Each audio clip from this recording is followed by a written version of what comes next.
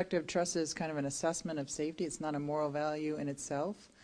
Um, you would, could think of trustworthiness as being a moral value. That is, knowing that another has made themselves vulnerable. Do you predate on that and behave selfishly, or do you not?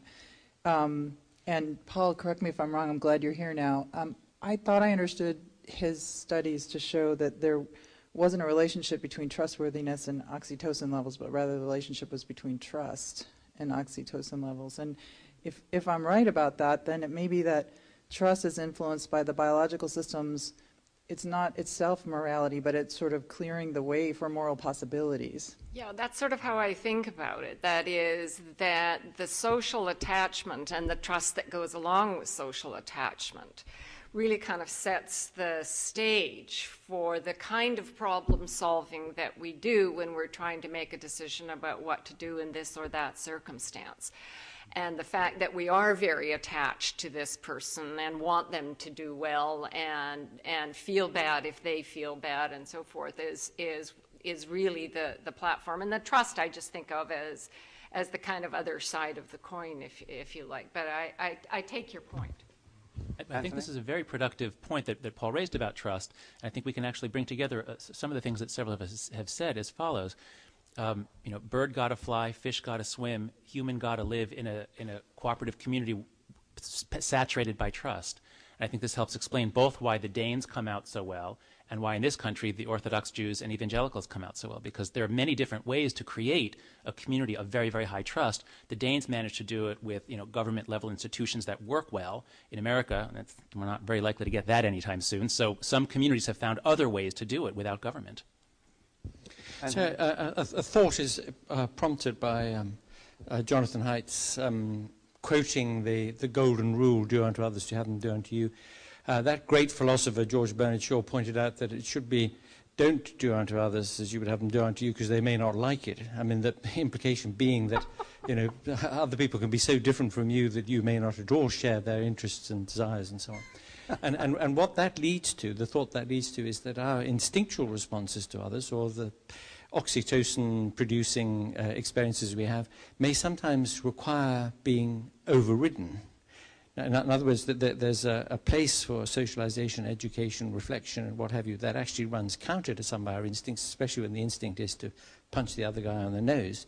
Uh, so uh, that there has to be a, a, more complex and indirect story about how our behavior, especially when it's conscious and deliberate behavior, uh, takes the form that it does which goes against the story that one might tell at the neurological level. Not, that's not to impute the, the fact that there, are, there is, obviously, there has to be this uh, neurological basis for it, but that there has to be also uh, uh, an added dimension. Maybe that's something that Pat well, could comment on. Yeah, I mean, I think that's the part of the story that you invoke the reward system to describe.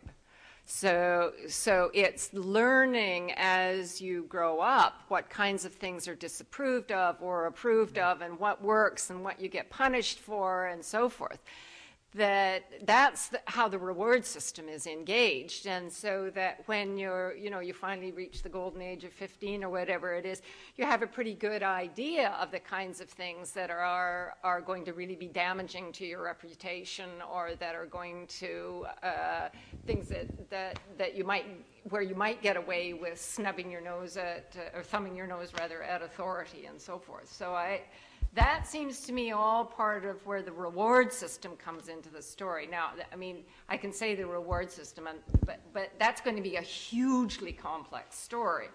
But that's where it's that's where all of that is going to fit into the picture. And, and, and you're, you're quoting Gary Marcus um, about genes providing a first draft.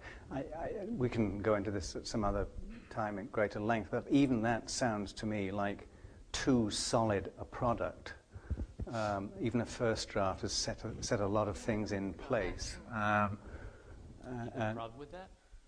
Yeah, I, I, think I think there's more construction going on than than than the first draft, but we can talk about this another time.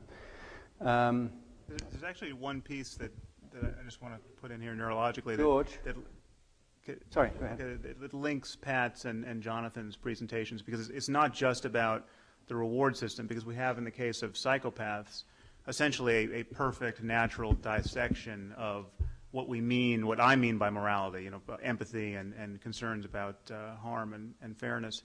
Um, and what, what we, the, the best theory of, of the, the neurobiology of psychopathy at this moment is that it, it involves the ventromedial prefrontal cortex, but it also it involves many other regions so that it's, it's, it's why an injury to the brain late in life doesn't mimic real developmental psychopathy. There's some, that's something called acquired sociopathy, where you have similar problems, but not the full suite of, of problems of a psychopath.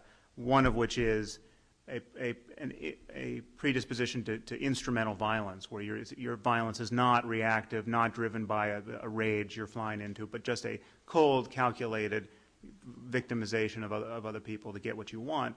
And the, the theory that, of, of, how they uh, come to be this way is that there's amygdala dysfunction which, which allows them not to recognize um, uh, negative affect in other people, especially sadness and fear.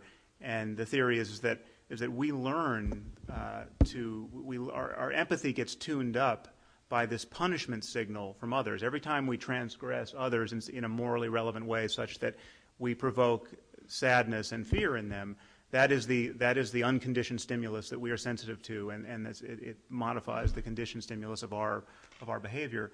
Um, psychopaths don't appear to have that, and then they learn, they, they simply learn that it becomes useful to victimize people to get various aims.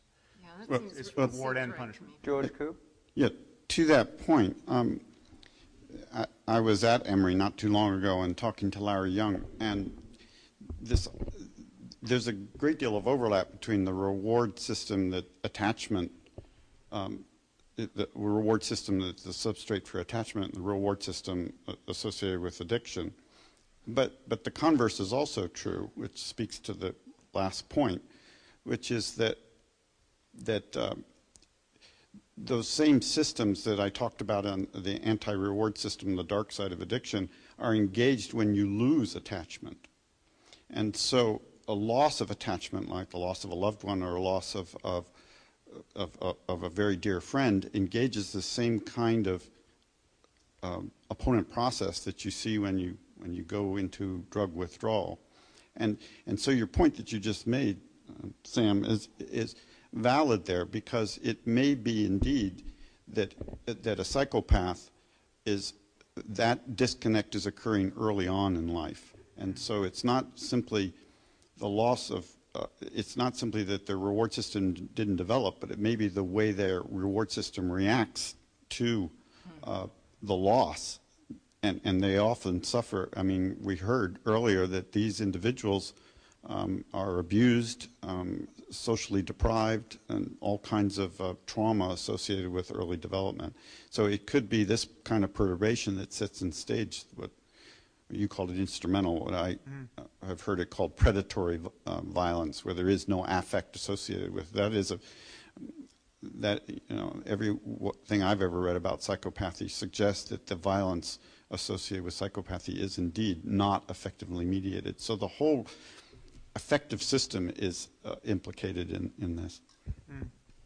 We're now um, only one hour over, um, which is some sort of minor miracle, but I, I, think we ought to sort of draw to a close and we can pick this up again tomorrow.